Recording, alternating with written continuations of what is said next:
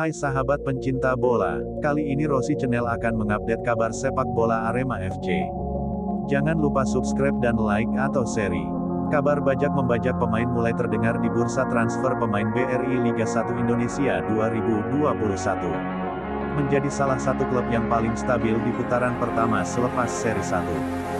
Sempat terpuruk di posisi 15 klasemen sementara, namun kini Arema FC melejit ke posisi 3 klasemen sementara BRI Liga 1 Indonesia 2021.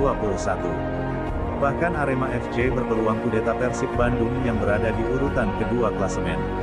Pasalnya Arema FC masih memiliki tabungan satu laga lagi yang akan dijalani di putaran kedua. Saat ini Arema FC baru memainkan 16 laga dari total 17 laga di paruh musim ini. Asteris asteris asteris. Artikel ini sebelumnya tayang di Serang News dengan judul, Neri. Arema bajak tiga pemain Persib dengan iming-iming gaji fantastis. Manajer, pelatih yang tentukan nama. Kali ini trio Persib Bandung dikabarkan bakal dibajak oleh Arema FC dengan iming-iming gaji tinggi. Tiga pemain asal Persib Bandung selama ini menjadi andalan skuad berjuluk Pangeran Biru. Karena itu, jika aksi bajak ini sukses maka dipastikan kerugian ada pada skuad Persib. Kabar yang beredar, tiga nama yang dibajak ini disebutkan hanya dengan nama satu huruf saja atau inisial. Ketiga pemain yang kabarnya dibajak ini berinisial D, F dan B. Hal ini diungkap akun Fandase Persib Bandung seperti dilansir dari Serang News. Ketiga pemain masih dalam pendekatan atau masih dalam dirayu oleh Arema FC.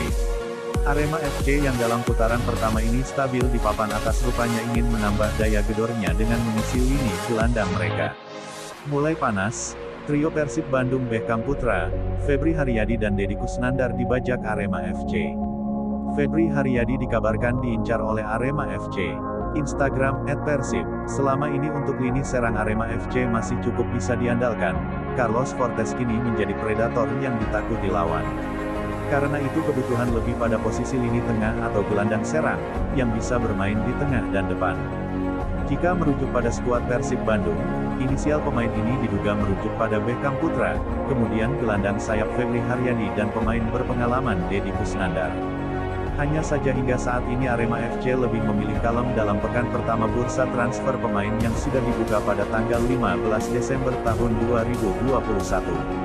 Terlebih bursa transfer ini masih akan berumur lama yakni pada pertengahan Januari tahun 2022 baru akan ditutup. Hingga kini belum ada keterangan resmi dari manajemen Singoe dan terkait dengan nama pemain incaran tersebut. Menjadi salah satu klub yang paling stabil di putaran pertama selepas seri 1.